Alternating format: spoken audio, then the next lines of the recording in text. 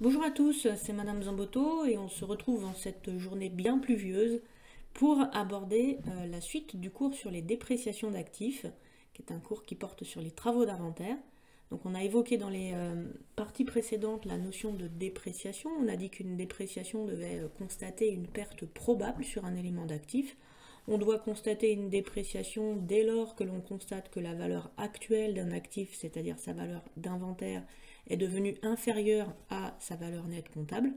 Et donc après avoir étudié euh, le cas des dépréciations des stocks, qui obéit à un traitement comptable qui peut être simplifié, et c'est d'ailleurs cette procédure simplifiée que je vous ai euh, proposée, on va aborder le cas des dépréciations euh, d'autres éléments d'actifs, et en l'occurrence ici le cas des dépréciations des créances. Vous savez tous ce que c'est qu'une créance. Hein. Une créance, c'est quand vous avez un tiers qui vous doit de l'argent. Euh, et le, cas des créances les plus courantes, bien sûr, ce sont les créances que vous avez sur les clients. Donc il s'agit là de la troisième partie du cours. Et évidemment, il vaut mieux avoir visionné euh, les vidéos 1 et 2 avant d'aborder cette troisième vidéo. À l'inventaire, donc, les entreprises doivent évaluer le montant de leurs créances. Les créances, je vous le rappelle, apparaissent euh, à l'actif du bilan, hein, puisque c'est un élément euh, du patrimoine ayant une valeur économique positive pour l'entité, ou autrement dit, euh, il s'agit ici d'éléments que l'entreprise possède, elles ont le droit de percevoir une certaine, une certaine somme d'argent de la part d'un tiers. Pourquoi est-ce qu'on est amené à évaluer ces créances? Après tout, quand un client nous doit de l'argent, bah, il nous doit de l'argent. Mais oui, mais à l'inventaire, je vous le rappelle, on doit respecter le principe de prudence. Dès qu'on a connaissance d'un événement qui est susceptible de diminuer le patrimoine, alors on doit le constater en comptabilité. Qu'est-ce qui peut se passer au niveau des créances?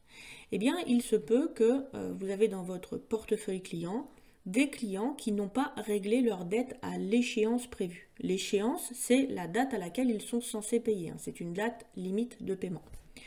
Ils n'ont pas payé et ce, même après plusieurs lettres de rappel, puisque quand vous avez un client qui ne vous paye pas, il est d'usage en entreprise de les relancer en leur rappelant le montant des factures qu'ils doivent vous payer.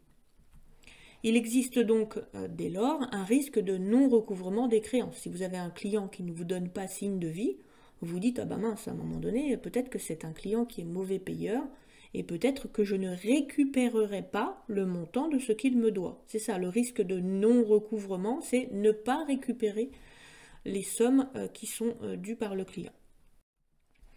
Comment est-ce qu'on va s'y prendre du coup à l'inventaire pour ces clients? Eh bien, on va commencer en fin d'exercice par classer les clients en fonction des possibilités de recouvrement de leurs créances possibilité de recouvrement que l'on évalue à partir des informations que l'on a récoltées. Il y a alors trois catégories de clients qui sont mises en évidence. La première, c'est les clients avec lesquels il n'y a eu aucun problème de paiement. Des clients qui payent régulièrement leurs factures et pour lesquels on se dit, bah, certes, ils nous doivent de l'argent, mais ils n'ont pas dépassé la date d'échéance. Donc ce sont des clients dont le recouvrement est pour l'instant assuré. En tout cas, nous n'avons pas euh, d'indices qui nous laissent penser qu'il y aura une perte de valeur sur ces créances. Ces clients sont qualifiés de clients ordinaires et donc forcément, à l'inventaire, il n'y a aucune perte qui n'est prévue, donc il n'y a rien à constater pour ces clients. Deuxième type de clients, ce sont des clients dont le recouvrement est devenu incertain. Pourquoi? Parce que ils ont euh, tardé à vous payer euh, certains éléments, ils ont dépassé les dates d'échéance pour certaines factures, certaines factures sont revenues impayées, ou vous avez connaissance du fait qu'il y a peut-être des procédures judiciaires qui sont en cours sur ce client. Dès lors, ces clients sont qualifiés de clients douteux. Douteux parce que vous vous dites hum, j'ai un doute sur le fait que je vais recouvrer la créance, je vais peut-être pas récupérer tout mon argent. Dès lors que vous avez connaissance du fait que ces clients sont douteux, eh bien vous allez devoir évaluer le montant de la perte probable sur ces créances. Il est probable que vous ne récupériez pas la totalité de ce qu'ils vous doivent. Cette perte probable devra être constatée en comptabilité par une dépréciation euh, sur euh, les comptes clients. Enfin, dernière catégorie de clients, bah, c'est la pire, hein, c'est les clients dont le recouvrement doit être abandonné. Ce sont des clients qui sont devenus irrécouvrables, qui sont insolvables. Insolvables, ça veut dire qu'ils ne peuvent plus payer leurs leur euh, créanciers. Et donc, euh, ces clients, on les qualifie de clients irrécouvrables. On ne pourra pas récupérer notre argent, ce sera une perte sèche pour nous. En l'occurrence, il faudra constater en comptabilité une perte définitive de valeur pour ces créances. J'ai bien dit perte définitive et pas perte probable. Les pertes probables donnent lieu à des dépréciations. Mais les pertes définitives ne donnent pas lieu à des dépréciations car les dépréciations sont par nature réversibles. Or, la perte définitive, il faudra du coup la constater comme une charge qui va venir euh, définitivement diminuer le résultat comptable de l'entreprise. On va se centrer euh, bien sûr sur les premiers clients euh, qui nous posent problème. En l'occurrence, ce sont les clients dont le recouvrement est incertain, qu'on a qualifié de clients douteux. Pour comprendre ce que l'on doit faire à l'inventaire avec ces clients, on va commencer par se rappeler dans quel cas est-ce qu'on a des créances. On a des créances sur les clients lorsque l'on fait des ventes. Vous vous rappelez un petit peu d'une écriture classique de vente? Une écriture classique de vente où vous avez des ventes qui apparaissent au crédit d'un compte de la classe 7 pour le montant hors taxe. Ces ventes sont suivies par la TVA collectée qui constitue une dette envers l'État. L'entreprise devra reverser cette TVA à l'État. Et ainsi, on constate le montant d'une créance dans le compte 411, au débit du compte 411, euh, pour le montant TTC. Donc le montant des éléments qui apparaissent dans le bilan correspond à un montant TTC. Eh bien, à l'inventaire, pour ces clients, il convient d'isoler en fait ces créances particulières qui sont douteuses, créances que l'on risque de ne pas recouvrer. Et pour cela, eh bien, on va isoler les créances douteuses en les transférant dans un autre compte. Actuellement, ces créances sont dans le compte 411 eh bien, on va les sortir du compte 411 afin de les mettre dans un nouveau compte qui s'appelle 416 clients douteux ou litigieux. Comment est-ce qu'on fait ça au niveau comptable? Actuellement, le compte 411, ici, il est débiteur pour le montant de la créance TTC. Je veux vider ce compte afin de transférer ma créance dans un autre compte. Qu'est-ce que je vais faire? Je vais prendre ce compte 411 et je vais le créditer pour le montant de la créance TTC ce qui nous donne une écriture comptable que l'on va enregistrer à l'inventaire, c'est-à-dire au 31 décembre de l'année N, dans laquelle vous voyez que le compte 411 est crédité, donc celui qui a pour effet de solder la créance sur ce client euh, douteux. En contrepartie, vous allez euh, transférer donc cette créance dans un nouveau compte qui s'appelle le compte 416 clients douteux ou litigieux que vous allez remplir. Pour remplir ce compte, vous allez évidemment le débiter puisque les comptes de créance sont des comptes d'actifs et sont des comptes qui augmentent lorsqu'on les débite. Votre créance apparaît donc désormais dans le compte 416. Dans une deuxième étape, je vais devoir évaluer le montant de la dépréciation que je dois constater, c'est-à-dire que je dois évaluer le montant de la perte probable sur ces créances douteuses. Prenons un exemple. On considère que dans mon patrimoine, j'ai un client qui me doit 1200 euros. La perte probable sur cette créance est estimée à 60% par mes conseillers juridiques. Dès lors, à votre avis, comment est-ce qu'on va calculer cette perte probable? Est-ce qu'on va faire 60% de 1200 ou est-ce qu'on va envisager un autre calcul? En fait, la question qui se pose, c'est que le client qui me doit 1200 euros, il me doit 1200 euros TTC, c'est-à-dire, toute taxe comprise. Est-ce que je vais perdre le montant de la TVA si le client ne me paye pas?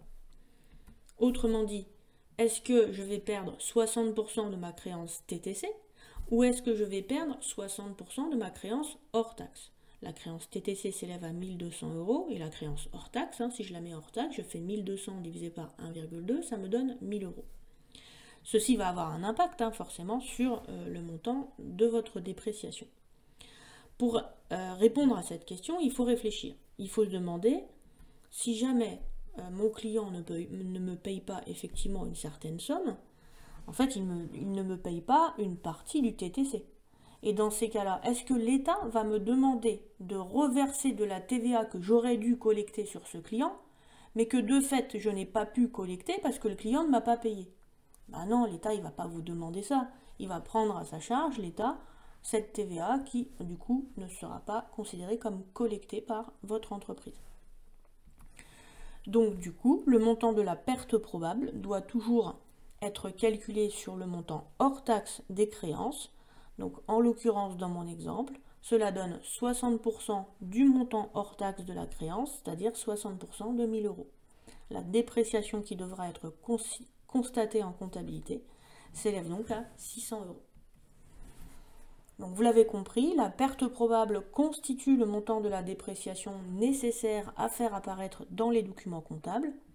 Et vous pourrez noter que le montant des pertes probables sur les comptes clients est systématiquement calculé sur le montant hors taxe de ce qu'ils vous doivent, c'est-à-dire le montant hors taxe des créances. En effet, les entreprises n'auront pas l'obligation de payer la TVA collectée sur leurs ventes si les clients ne les payent pas. Leur perte probable est donc calculée sans tenir compte de la TVA. Dans une troisième étape, maintenant que vous avez évalué le montant de la perte probable, qui constitue la dépréciation nécessaire à faire apparaître en comptabilité, il se peut que ce client était déjà douteux lors du dernier exercice.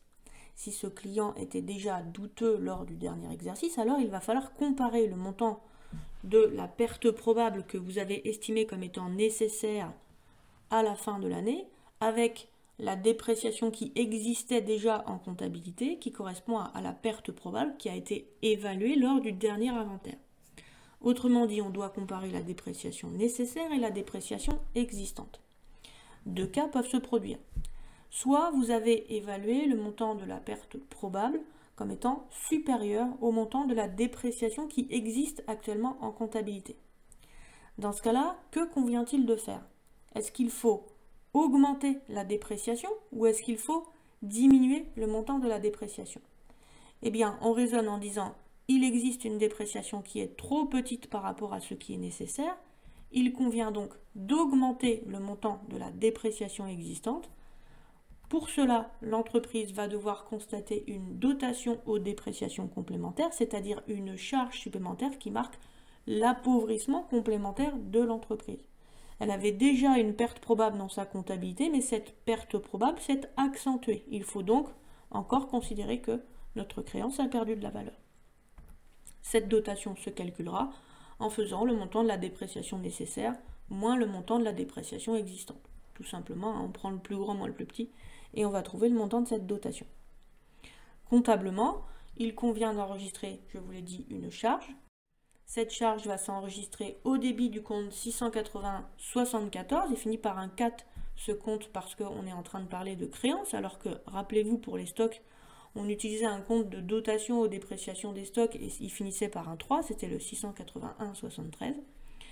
Donc vous allez enregistrer le montant de votre dotation euh, complémentaire et en contrepartie, vous créditerez le compte de euh, client avec un 9 en deuxième position donc vous pouvez utiliser le compte 491 euh, sans distinguer forcément euh, le 491.1 et le 491.6 puisque vous avez peut-être déprécié des comptes de clients douteux.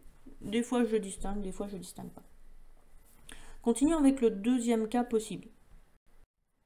À l'inventaire, il se peut que la dépréciation nécessaire, c'est-à-dire le montant de la perte probable que vous avez estimé dans votre comptabilité, est plus petit que le montant de la dépréciation qui existait déjà en comptabilité.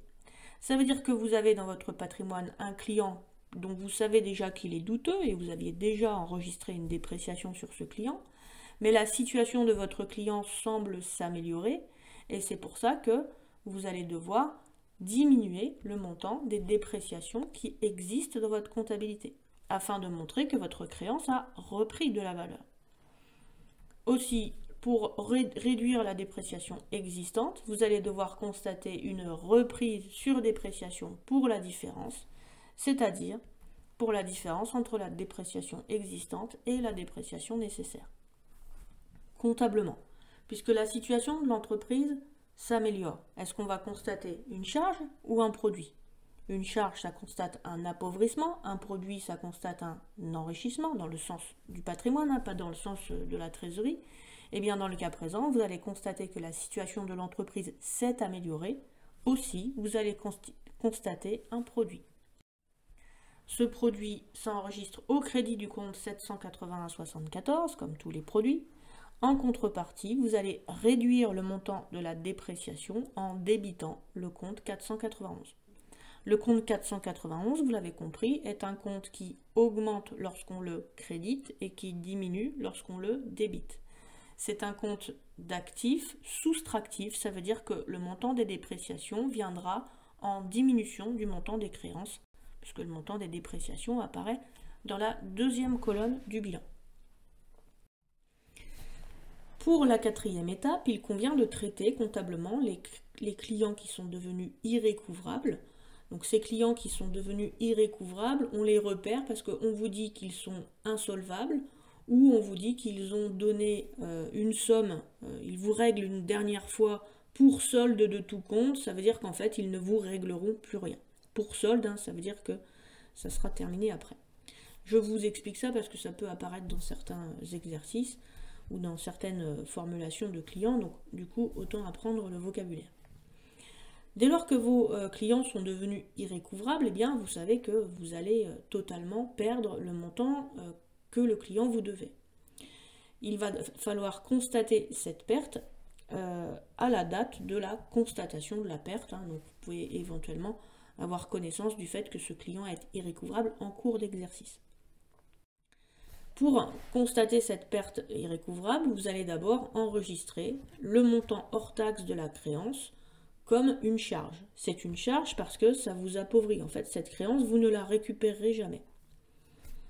Dans un deuxième temps, vous allez réfléchir à la TVA. La TVA que vous étiez censé avoir collectée sur ce client, en fait, vous n'allez pas la collecter. Donc, de fait, cette TVA que euh, vous auriez dû collecter, vous euh, allez l'annuler comptablement donc lorsque l'on collecte de la TVA, on crédite le compte 44 571. Et lorsqu'on va vouloir annuler cette TVA collectée, on a deux possibilités. Soit on va réduire le compte 44 571 en le mettant au débit, en disant bah, c'est de la TVA que je ne collecterai pas. Soit directement vous réduisez le montant de la TVA à décaisser, qui je vous le rappelle correspond à votre solde de TVA, hein. c'est ce que vous êtes censé reverser à l'État. Donc, on considère bien du coup que la TVA n'est pas une perte pour l'entreprise, hein. elle est considérée comme étant non collectée. En contrepartie, vous allez devoir sortir les créances du patrimoine. Ces créances n'ont plus rien à faire dans votre bilan. Or, les créances que vous avez sur vos clients, elles apparaissent soit dans le compte 416, soit dans le compte 411. Elles apparaissent dans le compte 416 si vous avez un client qui était d'abord douteux, puis ensuite qui est devenu irrécouvrable. Et elles apparaissent dans le compte 411 si vous avez un client qui est passé directement du statut de client ordinaire à client irrécouvrable. Donc selon que dans votre comptabilité, le client était douteux ou ordinaire, vous enregistrerez euh, la sortie de la créance avec le compte 416 ou le compte 411.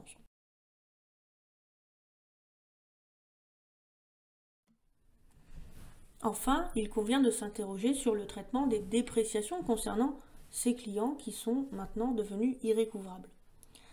À votre avis, quel est le montant de la perte probable sur les créances que vous possédiez sur des clients irrécouvrables? Je vous donne trois possibilités. Essayez de répondre. Est-ce que le montant de la perte probable sur mes clients insolvable ou irrécouvrable est de 100% Est-ce que le montant de la perte probable sur mes clients irrécouvrables est de 0% Ou est-ce que votre avis, ça dépend en fait du contexte Vous avez votre idée?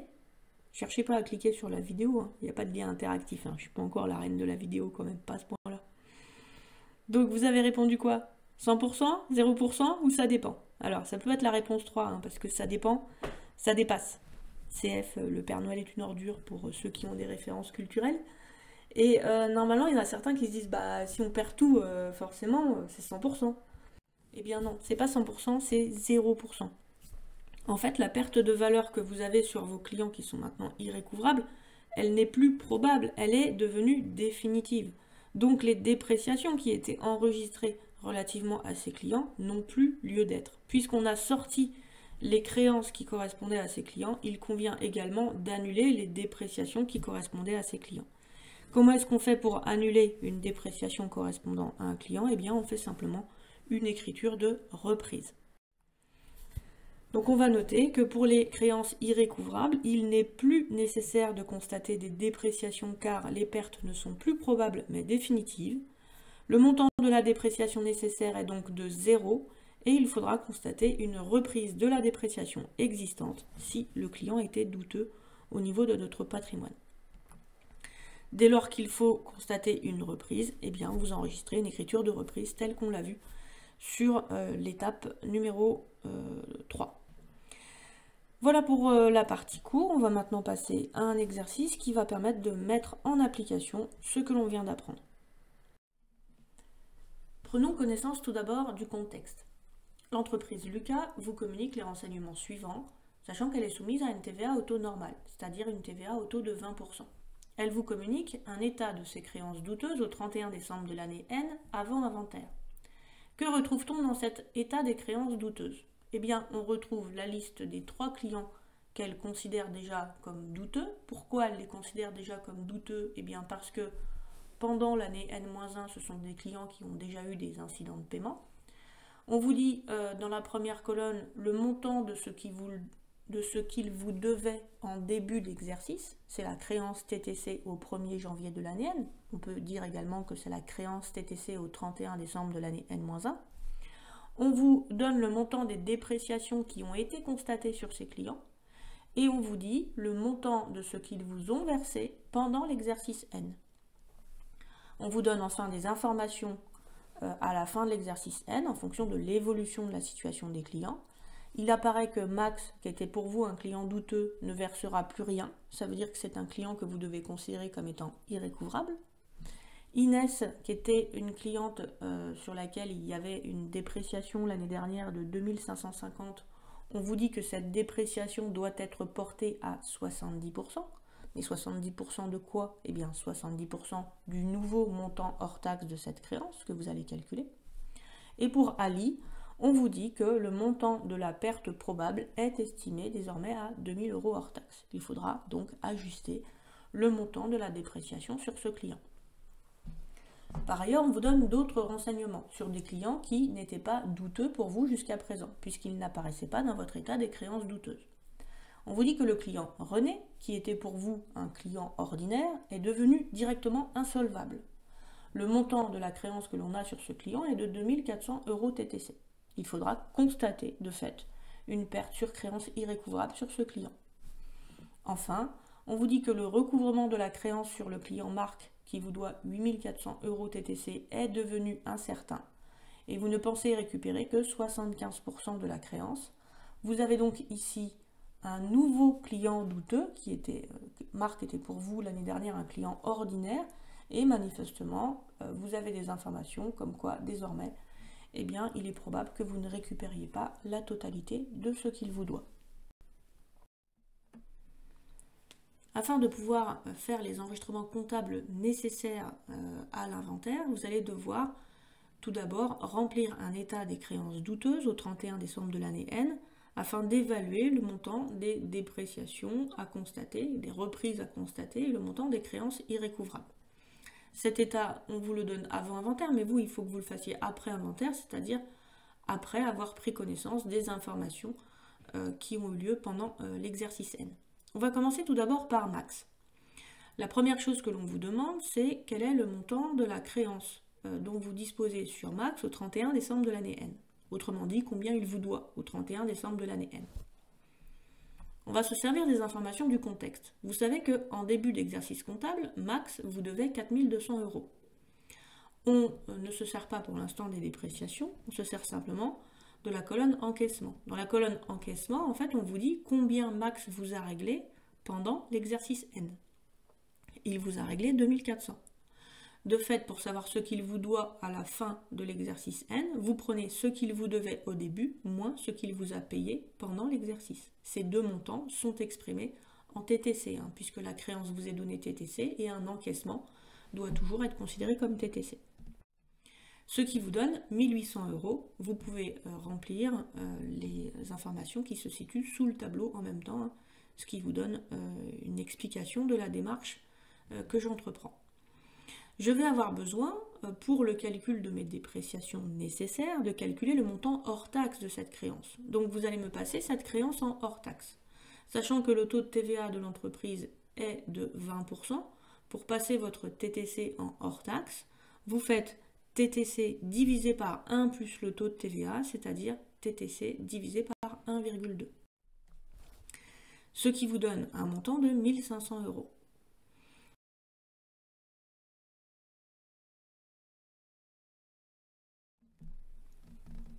Dans la colonne suivante, il convient de reporter le montant de la dépréciation existante qui vous est donné dans l'état des créances douteuses avant inventaire. Il s'agit de la dépréciation au 31 décembre de l'année N-1. Nous allons maintenant devoir calculer le montant de la dépréciation nécessaire au 31 décembre de l'année N. Pour cela, vous allez euh, prendre connaissance des informations concernant ce client à la fin de l'année N. Il est noté que Max ne versera plus rien. Si Max ne verse plus rien, ça veut dire que Max est un client qui est insolvable. Quel est le montant de la perte probable? Lorsque un client est insolvable, irrécouvrable pour l'entreprise Eh bien, rappelez-vous, c'est ce que je vous ai posé comme question dans le cours, et je vous ai dit, attention, lorsque un client est irrécouvrable, le montant de la perte n'est plus probable, mais il devient définitif.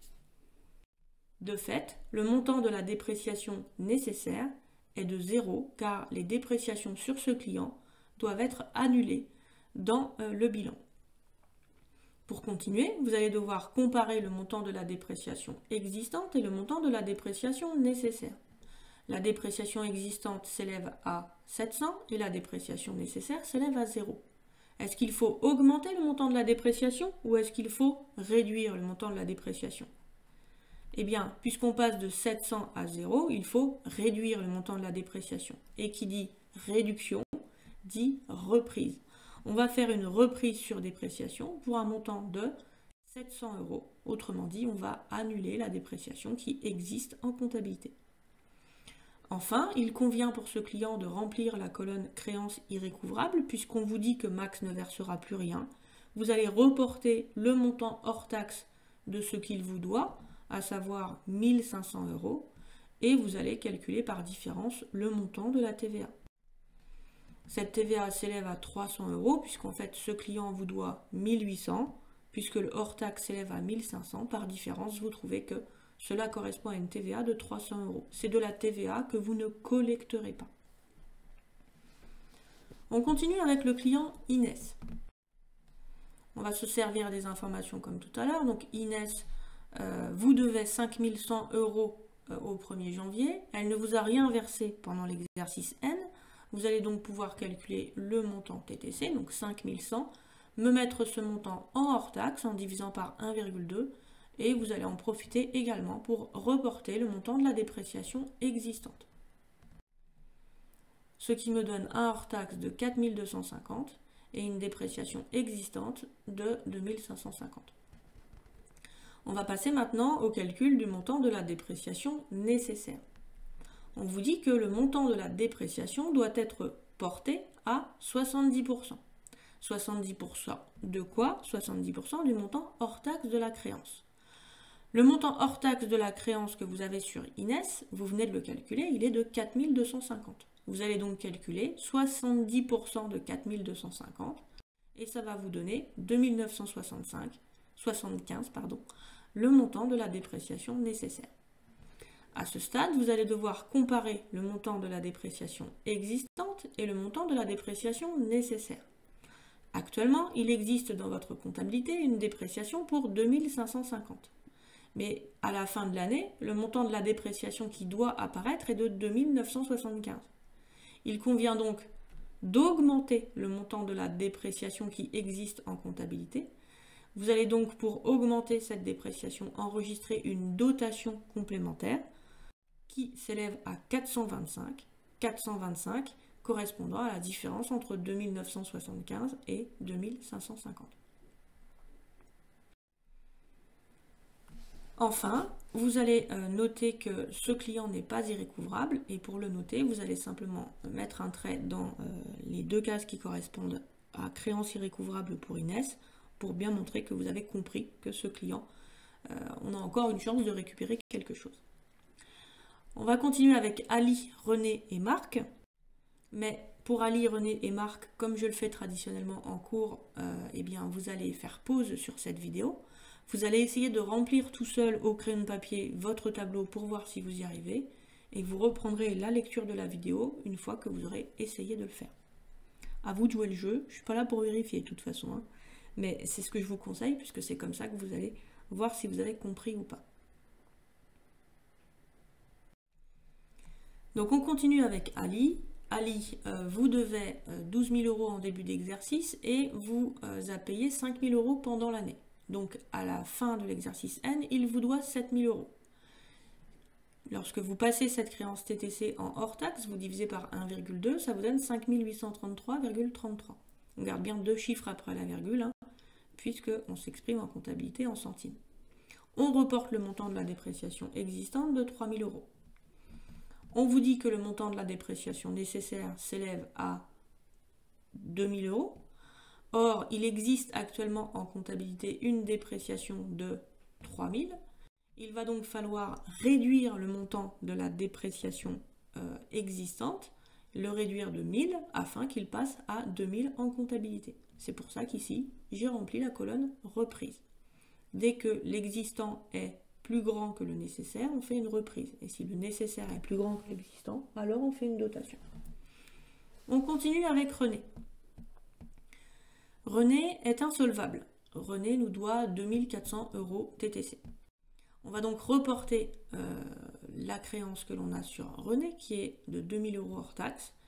René était un client ordinaire pour nous, donc il n'apparaissait pas dans notre état des créances douteuses de l'année dernière, donc il n'y avait pas de dépréciation sur ce client existait.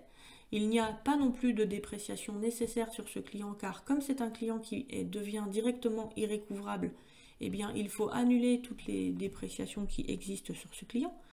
Il n'y a pas de perte probable car la perte est définitive. Et on remplit la colonne créance irrécouvrable pour le montant hors taxe de 2000 et pour une TVA de 400. Enfin, pour Marc, Marc vous doit 8400 euh, euros TTC, ce qui fait 7000 euros en hors taxe.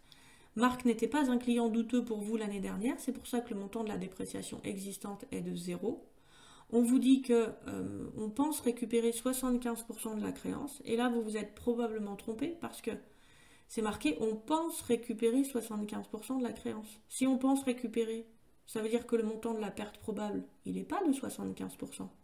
Le montant de ce que l'on pense perdre est de 25%. Donc vous vous êtes probablement trompé, ou pas si vous avez bien lu l'énoncé. Euh, mais c'est normal, hein, c'est les petits pièges habituels. Donc il s'agit donc de calculer 25% seulement des 7000 euros hors taxe de la créance.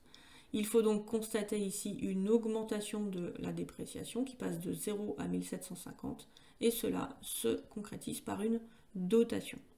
On ne remplit pas la colonne créance irrécouvrable puisque euh, notre recouvrement certes est devenu incertain mais il n'est pas abandonné donc euh, on a peut-être une chance de récupérer encore quelque chose sur ce client. Passons maintenant aux enregistrements comptables. Si on résume le cours, les enregistrements comptables, euh, il y en a quatre. Le premier va consister à isoler les créances concernant les nouveaux clients douteux en les enregistrant dans le compte 416. Le deuxième enregistrement va euh, entraîner la constatation des dotations aux dépréciations. Dans une troisième étape, on va enregistrer les reprises sur dépréciation. Et dans une dernière étape, on va constater les créances irrécouvrables. Commençons tout d'abord par la première étape. J'aimerais savoir, parmi tous les clients que l'entreprise ici a étudiés, combien sont des nouveaux clients douteux? Eh bien, en fait, Max, Inès et Ali apparaissaient déjà dans notre état des créances douteuses, donc on les a déjà enregistrés comme étant douteux l'année dernière. Parmi les deux autres clients euh, pour lesquels on a des renseignements, René n'est pas un client douteux. René passe directement du statut de client douteux au statut de client insolvable. Donc c'est pas la peine de le mettre en client douteux. On ne met les clients en client douteux que lorsque l'on va enregistrer des dépréciations euh, sur ses créances. Par contre, Marc euh, est un nouveau client douteux puisqu'on n'avait pas enregistré de dépréciation l'année dernière sur Marc et les difficultés que l'on a avec ce client sont nées pendant cette année. Donc on regarde dans notre état des créances douteuses et on voit que Marc nous doit un total de 8400 euros TTC. C'est ce montant TTC qui va être transféré du compte 411 au compte 416. Pour transférer la créance que l'on a sur le client Marc, on va donc solder le, le compte client en le mettant au crédit et débiter le compte 416 pour euh, isoler cette créance particulière.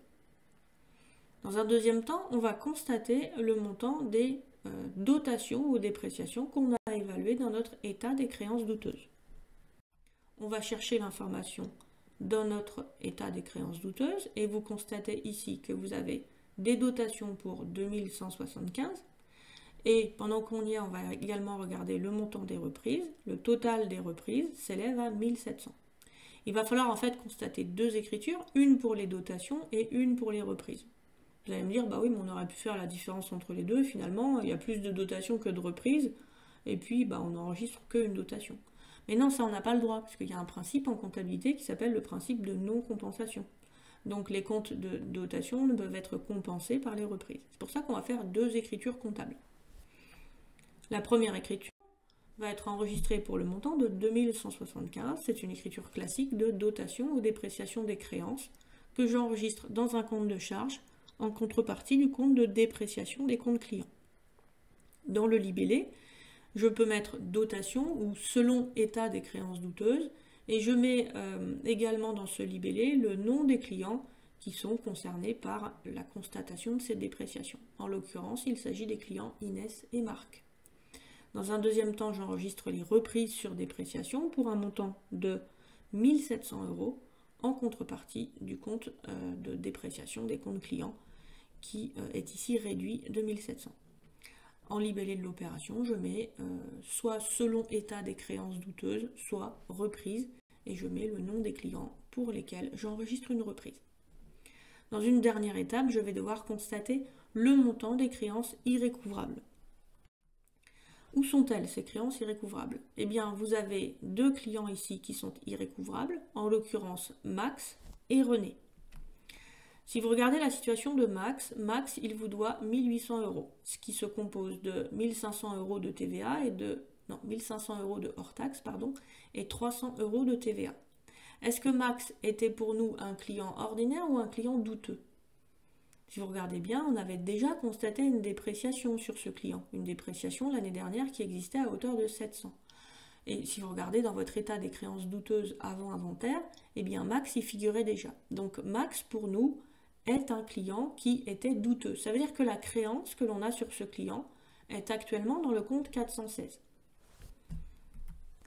René, par contre, est un client qui n'apparaissait pas dans notre état des créances douteuses. Il est passé directement du statut de client ordinaire au statut de client irrécouvrable. Donc la créance sur le client René est actuellement dans le compte 411. Ça, ça va être important pour savoir comment solder les créances que l'on a sur ces deux clients. On va donc pouvoir enregistrer notre écriture comptable. Dans un premier temps, on va enregistrer le total hors taxe des créances irrécouvrables que l'on a dans la colonne euh, de l'état des créances douteuses pour 3500. On va réduire le montant de la TVA collectée ou le montant de la TVA euh, à décaisser car l'État considère que vous n'avez pas collecté cette TVA et ne vous demande pas de reverser la TVA sur les clients irrécouvrables, donc pour un montant de 700 euros. Et vous allez ensuite solder vos deux créances.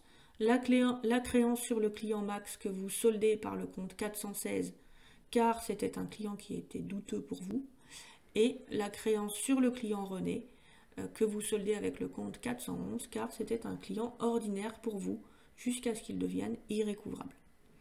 Vous mettez bien en libellé de cette opération client irrécouvrable, Max et René, euh, pour préciser le nom des clients que vous avez euh, sortis du patrimoine. Voilà, c'est terminé pour cette partie de cours qui portait sur les dépréciations des créances. J'ai essayé d'aller assez doucement et d'illustrer un maximum pour que vous puissiez bien comprendre euh, comment on fait les calculs dans cet état des créances douteuses et comment on peut ainsi traduire cet état des créances douteuses dans les écritures d'inventaire. Dans la prochaine vidéo, on va aborder euh, la suite du cours. En l'occurrence, il s'agit des dépréciations de titres. Une fois qu'on aura vu euh, ces prochaines vidéos, eh bien, on pourra passer aux exercices que j'envisage de faire plutôt en présentiel. N'oubliez pas de mettre un petit like sur la vidéo si vous avez apprécié les explications et on se retrouve tout de suite dans la prochaine vidéo.